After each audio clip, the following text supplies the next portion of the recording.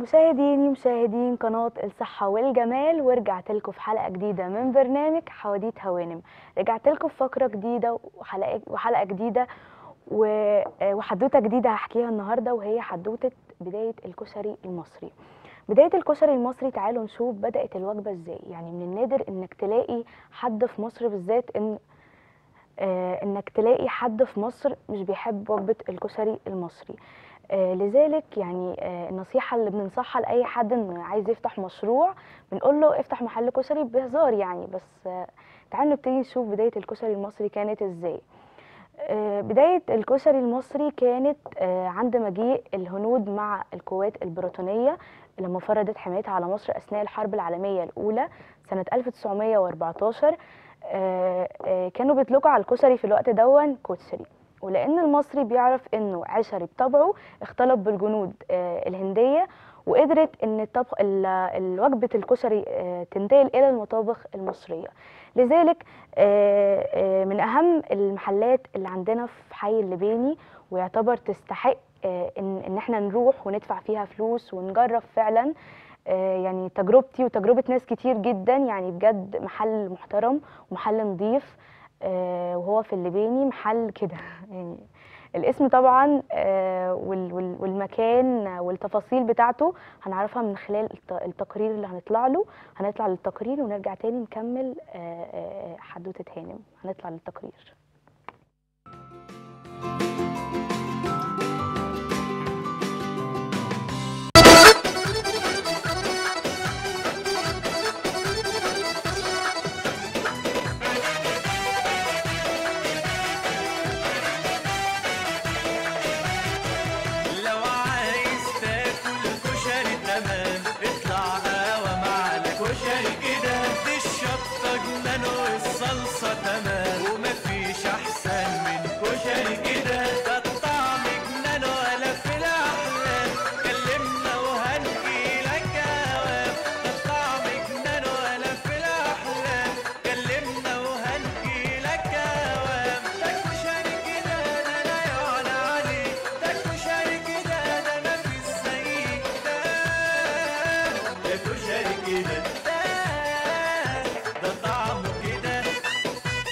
كشري كده. قلب فيدي فيصل أمام شارع الشيشيني 24 ساعة. خدمة توصيل للمنازل.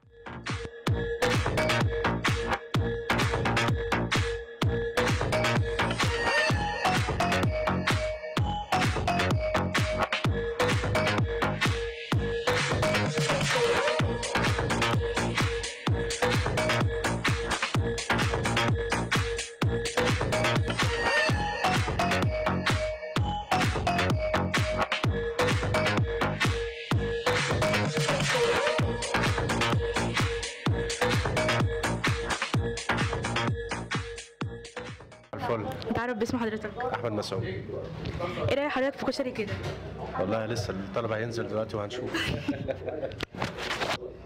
انت بقى بتعمل إيه؟ باكل كشري أول مرة تاكل؟ أول مرة أكل أول مرة تيجي المحل هنا؟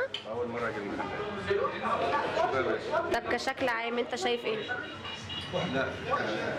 شكل عام حاجة زي الفل المفروض بقى لسه بقى هندوق أهو ونشوف طب دوق كده قول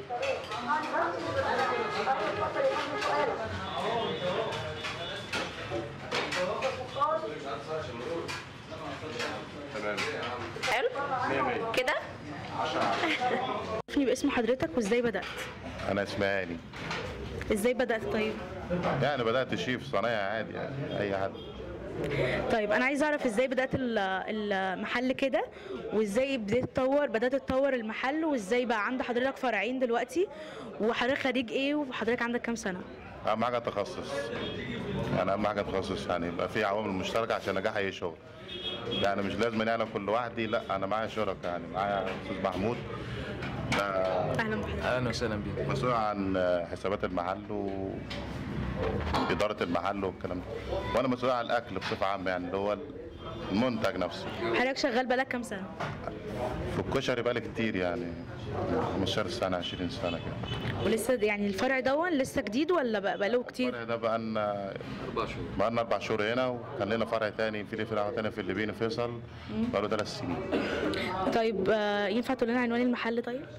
عنوان المحل آه، واحد شارع محمد فرج الليبيني فيصل بجوار طانجو والفرع الجديد اللي إحنا فيه ده 3 ألف عمارات الشركة الوطنية آخر فيصل. طيب أنا عايزة أخد رأي حضرتك في موضوع. آه، إيه رأيك في الشباب اللي هم بيفتحوا مشاريع وكده وما بيستمروش لمدة شهر وبيقفلوها؟ أهم حاجة التخصص. يكون عندك التخصص عشان تنجح. يعني اللي بي... اللي بيخش في مشروع وبيقفل ده 95% بيبقى مش دارس كويس ما عندوش تخصص ما عندوش مهنية في الموضوع. لأن الموضوع لازم يترتب له عوامل كتيرة. منها يعني ما بتنصحش إن هم يصبروا الأول؟ لا لازم أن يكون في تخصص الأول عشان يمشي كويس لازم يكون في تخصص. يعني بمعنى يعني لازم يكون في عوامل مشتركة رأس المال زائد المهنة زائد الإدارة. ثلاث حاجات دول مع- لازم مرتبطين ارتباط كامل. لو فلوس من غير تخصص ملهاش لازمة. يعني محتاجين رأس مال ومحتاجين. تخصص؟ تخصص. آه والحاجة الثالثه إدارة.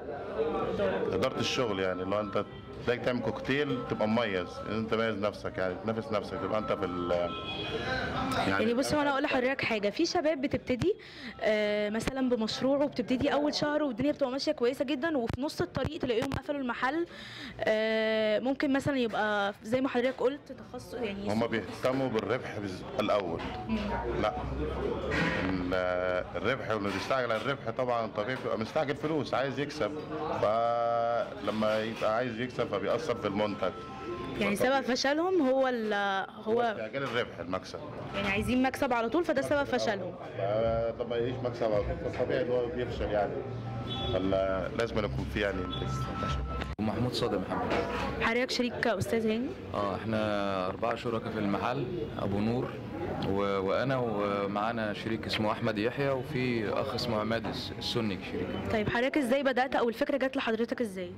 والله هي الفكرة بدأت إن أنا كنت مسافر بره وبعدين حبيت أعمل مشروع أرجع مصر وأعمل مشروع. فزميل ليا يعني شغال في نفس أبو نور شغال في نفس الدار ومعرفة قديمة بيه يعني. فهو يعني اتفقنا على إن إحنا نعمل حاجة زي كده يعني.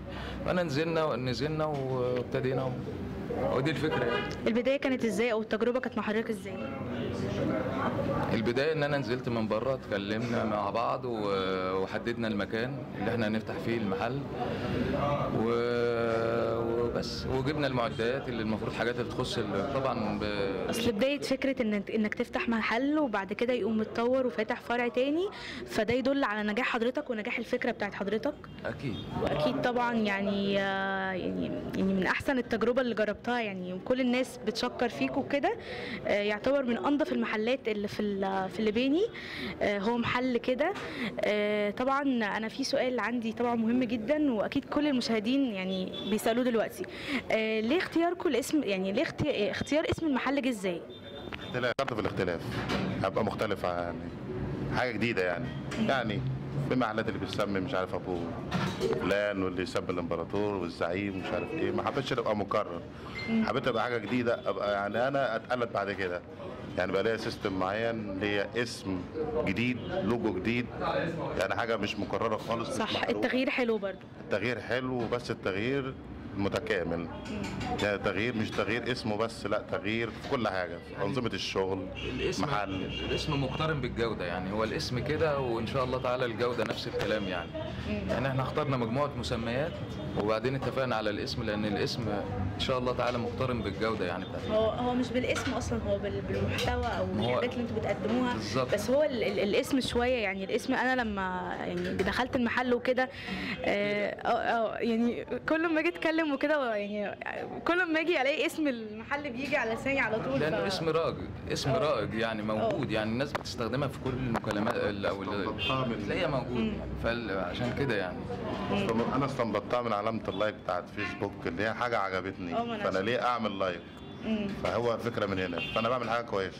يعني- فبعد كده بقى نعمل اطلاع رأي للزباين والكلام ده. إيه رأيك في الكشري؟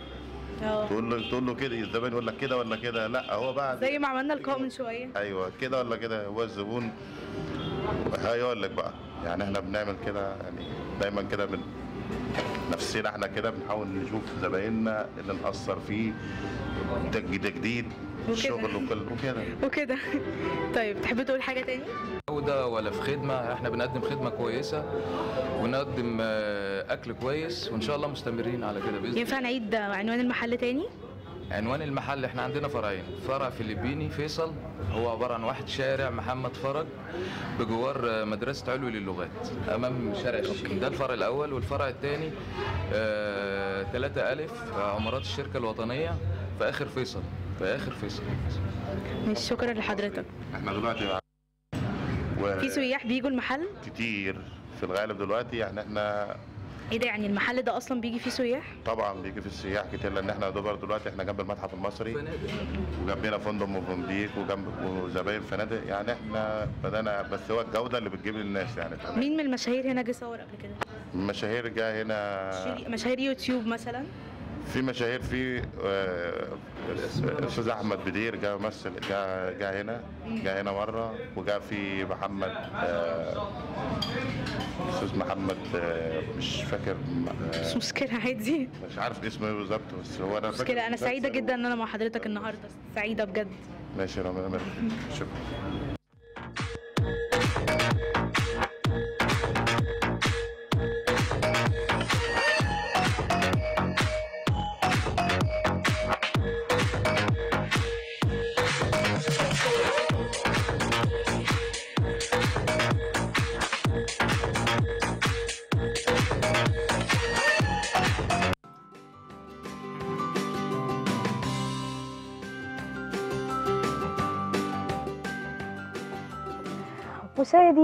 ورجعت لكم تاني من جديد وبعد ما خلصت حدوتة الفقرة حدوتة هانم هرجع أتكلم تاني في بداية الكشري المصري. وهي طبعا زي ما بدأت في أول الحلقة وقلت عند مجيء آه، البريطانيين لما فرضت حمايتها على مصر سنة 1914 أثناء الحرب العالمية الأولى. وقلت طبعا إن المصري اختلط بجنود الهند وطبعا انتقلت وجبة الكشري آه، إلى مصر. وطبعا زي ما إحنا عارفين عرفنا تفاصيل المحل وعرفنا طبعا المحل فين وطبعا عرفنا هو ليه اتسمى كده. آه، طبعا يعني آه، آه، بجد من الحاجات اللي أنا فخورة أو من التقارير الفخورة جدا إن أنا قدمتها. ويعني حابة أتكلم في حاجة كمان وأقول لو عايزين تعملوا معايا مداخلات هتتصلوا على الأرقام اللي هتظهر على الشاشة. ولو عايزين تظهروا معايا حابين تعرضوا موهبتكم هتتكلموا هتكلموا برضو الأرقام اللي هتظهر على الشاشة. يعني هستنى منكم تليفونات طبعا. هطلع فاصل وهرجع تاني.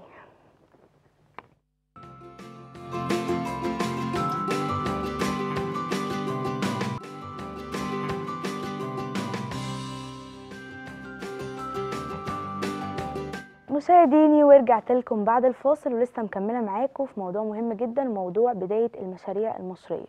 عشان طبعا أبدأ المشروع بتاعي لازم زي ما قال أستاذ هاني في التقرير إن يبقى عندي تخصص في مهنة معينة. ما ينفعش مثلا إني أبدأ أفتح مشروع وأنا مش عارف أنا هفتح إيه. فلازم يبقى عندي بداية مشروع كاملة وبداية فكرة إني أبدأ أخطط ليها آه، آه، أبتدي أخطط ليها مثلا يعني يبقى ليا بداية مثلا آه، ما يبقاش هدفي الربح زي ما أستاذ هاني قال في التقرير. يعني لازم يبقى عندي آه، آه، موضوع موضوع في بدايتي في موضوع في بداية المشروع اللي هعمله. لازم كمان يبقى عندي هدف ليه مش هدفي إن أنا داخل أربح على طول. آه، آه، ولازم يبقى عندي دراسة للموضوع يعني لازم أدرسه آه، دراسة السوق ومتطلباته وتكلفته. وكمان لازم يبقى عندي تحديد للمشروع بالظبط يعني ما بقاش داخله على طول.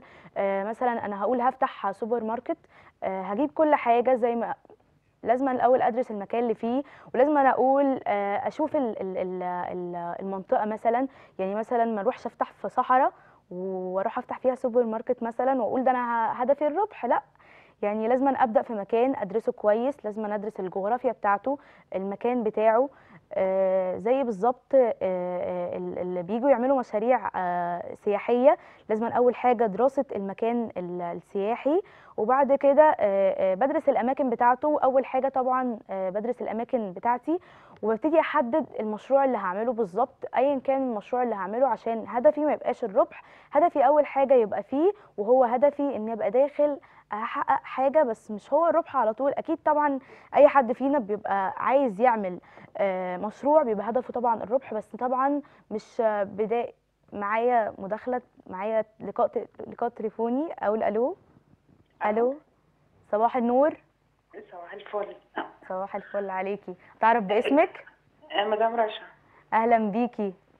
أهلا بحضرتك ازي حضرتك. بهنيكي على البرنامج. الجميل الأول. ربنا يخليكي يا رب. آه، أنا بصي من سكان الليبيني أهلا بيكي منورة. أهلا بيكي بنورك. آه، عايزة أقول لك فعلا بجد كشري كده والله مش مجاملة فعلا يعني مكان محترم جدا. آه، أكل نظيف وجودة زي الفل ومعاملة الناس هناك راقية جدا. بجد بتمنى لهم آه ما ده. ده اللي شفته من خلال اللقاء اللي عملته عملت لقاء معاهم وكانت آه، كان تجربة جميلة جدا يعني. اتفضلي. كمان حضرتك لما بتروحي المحل بتلاقي اهتمام من الناس بتلاقي ناس نظافة النظافة طبعا انت عارفة أهم حاجة في آه أهم في أي محل أكل بالذات يعني. م- م. آه، فبجد ناس محترمة وناس كويسة ربنا يا رب يوسع عليهم أكتر. مم. وتبقى كل حاجة في مصر كويسة وبالمستوى ده يا رب العالمين. م. ده هدفنا طبعا. أكيد إن شاء الله. تحب تضيفي حاجة تاني؟ لا يا حبيبتي شكرا شكراً، وبشكرك برضه على بيكي. برنامج جميل وبقول ربنا يوفقهم يا رب ويوفق. الاستاذ هاني وكل الناس اللي معايا يا رب ربنا يخليكي شكرا شكرا آه نرجع تاني نتكلم وطبعا هي إضافت نقطة بسيطة جدا كان نفسي أقولها من أول الحلقة وهي موضوع النظافة العامة وأول حاجة لما باجي أفتح مشروع وزي مثلا آه آه، حاجة نسيت أتكلم عليها في أول التقرير وهي آه إني لما أفتح محل كشري مثلا أو أفتح أي محل طبعا لازم أهتم بالنظافة. وإحنا يعني أعتقد لما بنيجي نعمل حاجة في البيت مش بتطلع بنفس نظافة بره. فعشان كده صعب إنك تلاقي محل آه، آه، نظافته زي محل كده طبعا. محل نظيف وراقي جدا زي ما ما المداخلة قالت طبعا. هرجع تاني أتكلم في موضوع مهم وهو معانا معانا صاحب المحل. ألو؟ صباح الخير أستاذ هاني. أستاذ هاني صباح الخير. صباح الخير ينفع بس نوطي التلفزيون؟ أستاذ هاني صباح الخير. صباح الخير يا أستاذ. صباح النور. ينفع بس نوطي التلفزيون لو سمحت؟ أيوه حضرتك اتفضلي. أيوه أيوه. صباح الخير عليك. صباح الخير يا أستاذة. أهلا بيك. صباح الخير عليكم على البرنامج أوكي. عندي سؤال مهم جدا وهو برضو انت جاوبتنيش عليه في التقرير. عايزه أعرف آه، آه، بداية يعني آه، الشباب لو حابين يبدأوا مشروعات إيه هو مثلا ترشح لهم بدايتهم تكون إزاي مثلا زي ما حضرتك بدأت؟ اولا بالنسبة للأكل يعني المطاعم كده يعني. أهم حاجة التخصص زي ما أنا قلت لحضرتك في البرنامج قبل كده والمهنية. وتاني حاجة يعني لازم أن يكون في يعني أجود الخامات عندك. يعني تشتغل بأجود الخامات. أيوه عشان صح. تقدر تعمل منتج يتواكب مع كل يتواكب مع كل الاذواق أستاذ هاني أنا فعلا قلت. لحضرتك موضوع إن في شباب كتير قوي بتفتح مشاريع ومن أول شهر بتقفلها صح؟ حضرتك أيوة. عارف إيه الأسباب اللي ممكن تؤدي لدون؟ يعني لل- عدم للحاجه دي؟ المهنية طبعا عدم مم. المهنية. يعني أنا مثلا مهندس كمبيوتر مش هينفع أفتح مكتب استشارات قانونية. امم صعب. مهندس كمبيوتر هيشتغل في الكمبيوتر. أنا أنا أنا أنا محل كشري طباخ كشري فافتح محل كشري مش هينفع أستاذ هاني أنت. نورتني. شرفتني بمكالمتك والله. شكرا. مشاهدين برنامج حواديت هوانم وكده أبقى وصلت لنهاية حلقتي. هستناكم كل يوم خميس الساعة عشرة ونص في نفس الميعاد. لو عايزين تكونوا آه، ضيوف من من فقرة حدوتة هانم هستناكم كل يوم خميس الساعة عشرة ونص في نفس الميعاد. شكرا.